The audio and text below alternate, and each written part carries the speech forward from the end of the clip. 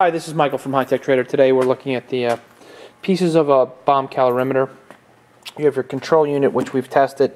Um, so it, when it comes out, you know you're you're playing. You can set the zero. Basically, it's a five volt output. Temperature. Not sure how it 100% works. I've never worked with this instrument before. You've got a little belt, which it spins. Plug that in. The motor will spin it uh, thermometer port.